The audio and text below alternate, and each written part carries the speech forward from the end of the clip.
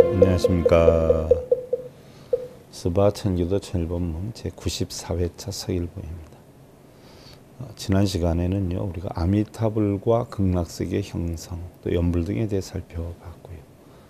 오늘은 여러분들 법요집 454페이지 아미타불 공기도인 미타청에 대해 살펴보는데요. 아미타 부처님을 모실 때에는 좌우에 관세음보살과 대세지보살 또 관세음보살과 지장보살을 모시는 것이 가장 보편적이고요. 아미타 부처님이 모셔진 전각은 우리가 무량수전 또는 극락전이다라고 하는데요.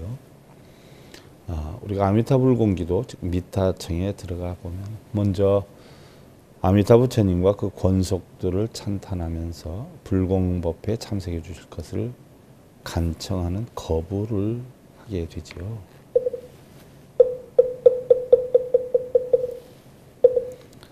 なあ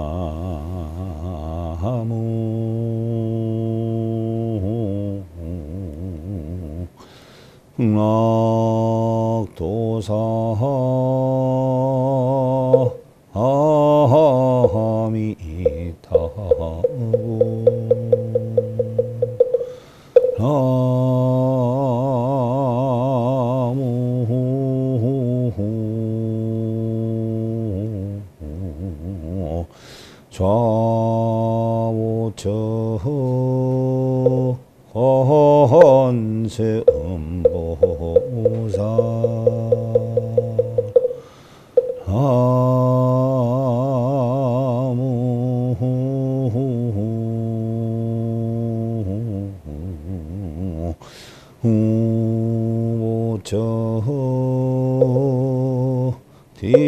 낙도사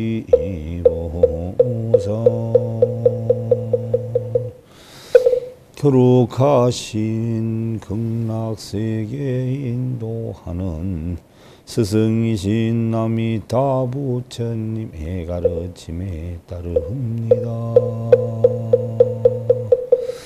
거룩하신 자보처 관세음보살님의 가르침에 따릅니다.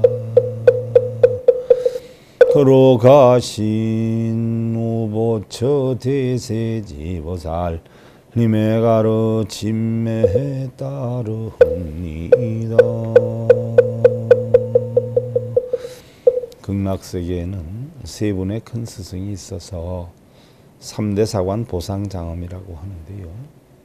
아미타불과 또 관세음보살, 대세지보살을 뜻하기 때문에 함께 공양 초청하는 것이죠. 다음은 이제 아미타 부처님과 권속들께 공양청을 받아 주실 것을 간청을 하는 어, 보소청 진원인데요.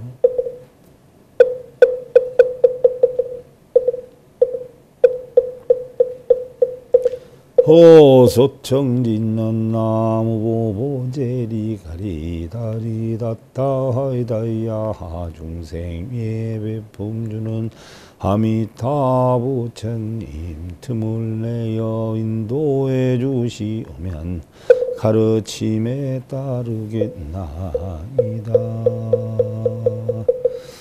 꿈과 희망은요 우리의 삶에 커다란 행복을 안겨다 주고요 많은 용기를 일어나게 하지만 막연히 잘 되기를 바라기보다는요 바른 진리를 배워서 스스로 결실을 맺어야 하기에 아미타 부처님과 그 권속들에게 법문을 해 주실 것을 간곡하게 청하는 것이고요.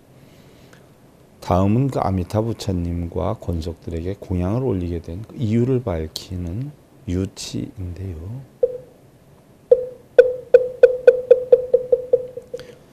어,